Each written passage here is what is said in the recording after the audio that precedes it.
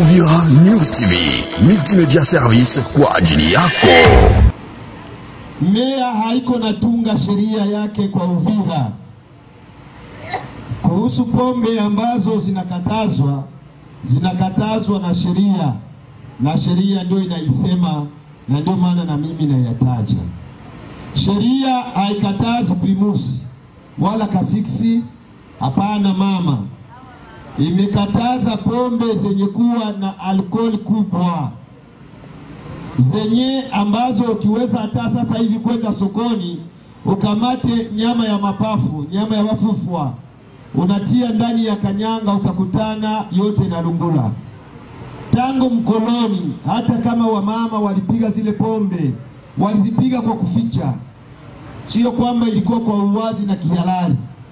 Hapana, kwetu walikuwa wanaenda kule juu kwenye mtoni katikati kule na ndio kule walisipikia kwa sababu hata mbeleji alikuwa anakataza zile pombe.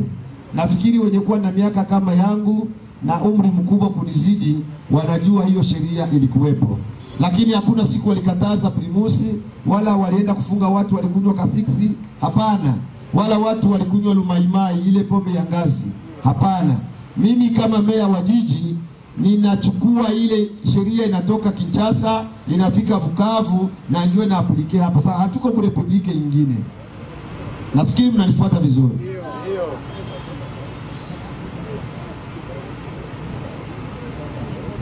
Donc nataka kuwaambia swali la kwanza na la pili ni kusema kwamba pombe zenyewe zinakatazwa ni pombe kwanza zimekuja miaka hii ya nyuma na zinapikwa kwa hali ambayo ni ya kuzuru mwanadamu. Mwanadamu hana tena nguvu, kwa sababu zile pombe kali zina sumu kali ya kuua mwili wa mwanadamu, zinaua ubongo, zinaua ini, figo, estoma na kadhalika. Hata wewe mwenyewe uko naikunywa, sio kwamba uko nakunywa hiyo uko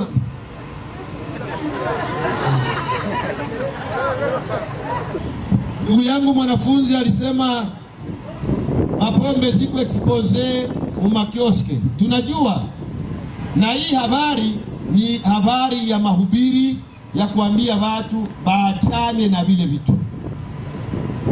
Kama mambo yalifungwa zamani, nawaambia natoka Kinshasa, imeonekana sasa ni fleo, ni hatari, ni janga, ni pigo kuanzia Kichasa, sehemu zote ilionekana wakuu viongozi wa, tusipofanya vita na hizi pombe na hizi bangi, sasa jamii ya wakongomani yote itaharibika.